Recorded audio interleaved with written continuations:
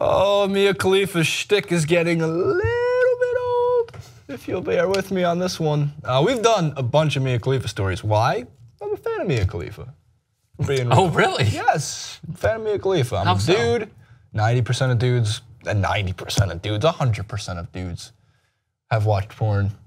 I'm gonna say 85% know who Mia Khalifa is, and if you don't, you might be lying. Regardless, she was a, let's be fair, an adult film star.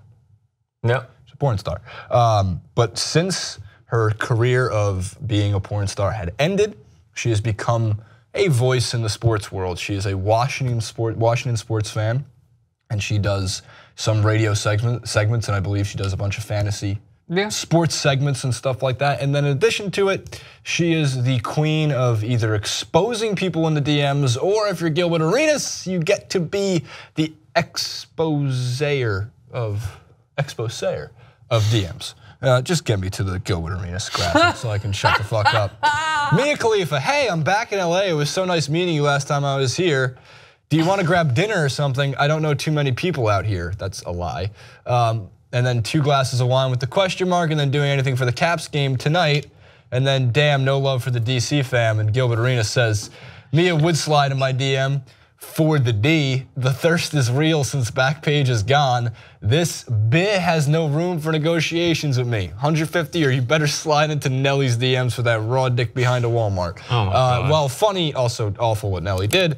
Uh, in the case of Gilbert Arenas, um, look, here's some fake news. I don't know many people around here. You, are going to Washington where you are a Washington sports fan. I promise if you don't know enough people, a lot of people know who you are. Also, Baker Mayfield, she tried to go back into Baker Mayfield's DMs after putting him on blast. Yeah, what the hell? Five or six different times. And Baker Mayfield blocks Mia Khalifa and then just tweets out amazing photos of the girlfriend he has now that he says he loves, who is gorgeous too.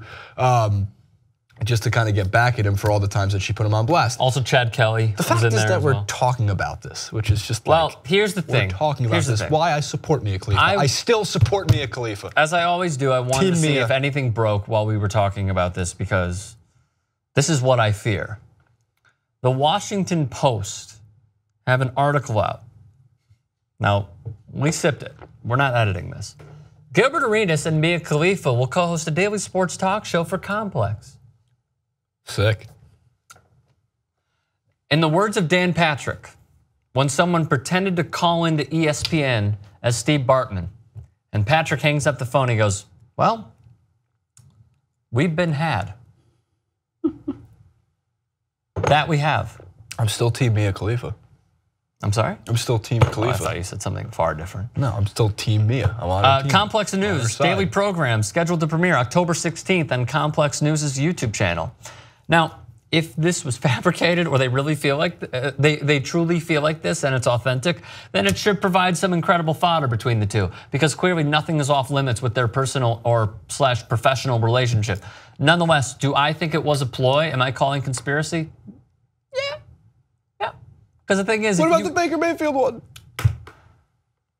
In the past with Chad Kelly and Baker Mayfield, she took advantage of the players that were um, 18 years old. she took advantage of the players legally were, taking advantage of them. That were up for the Heisman.